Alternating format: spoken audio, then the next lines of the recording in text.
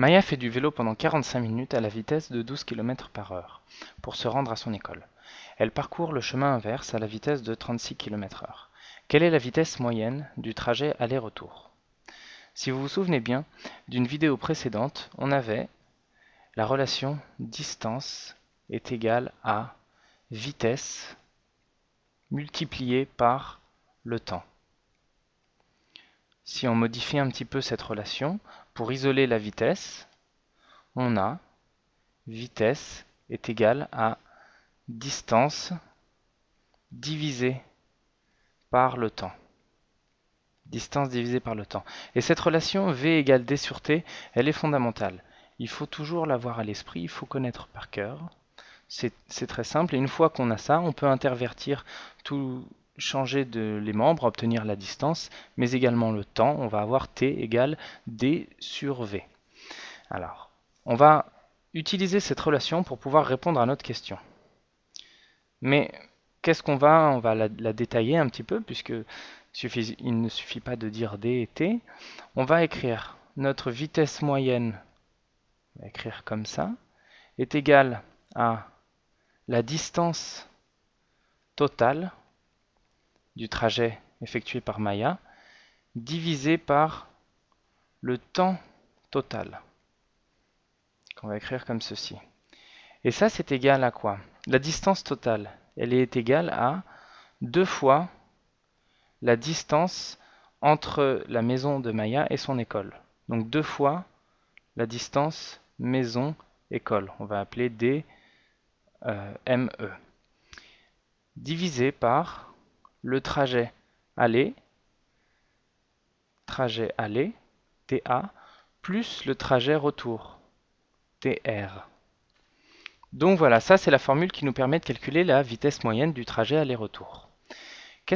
De quoi on dispose dans euh, cette expression? Alors on a, déjà un élément, on nous le donne dans l'énoncé, on nous dit qu'il lui faut 45 minutes pour faire le trajet aller.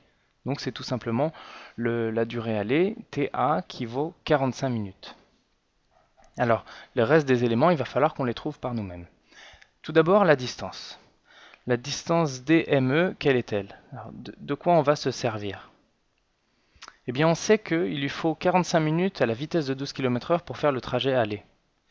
Donc, on a là euh, le temps ainsi que la vitesse qui va nous permettre, en utilisant cette relation, de déterminer la distance. Donc, on a 12 km par heure qu'on va multiplier par 45 minutes. Alors là, il faut faire attention, on a la durée en minutes et il faut qu'on on veut l'avoir en heures pour pouvoir faire le calcul. Donc on va convertir la durée de 45 minutes en heures et ça fait 45 minutes, qu'est-ce que c'est en heure C'est 3 quarts d'heure. On dit souvent aussi 3 quarts d'heure. Donc 3 quarts d'heure. On simplifie les unités et on obtient 12 fois 3 divisé par 4. Donc 12 divisé par 4, ça vaut 3. Multiplié par 3, ça vaut 9. On a donc 12 km entre la maison de Maya et son école. Alors, très bien, on a DME. Maintenant, on cherche le trajet retour, la durée de temps retour. Alors, on ne nous le donne pas, mais qu'est-ce qu'on sait maintenant? On connaît la vitesse et on connaît le temps.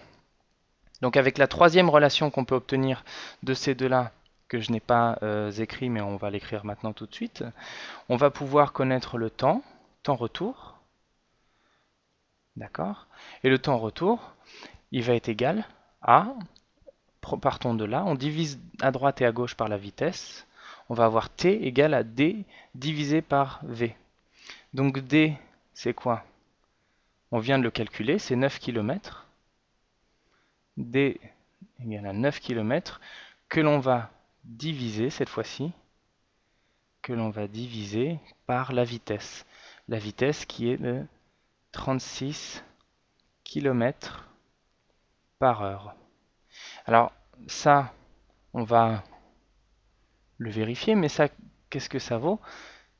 9 divisé par 36, ça vaut un quart. D'accord? Et un quart, les kilomètres se simplifient.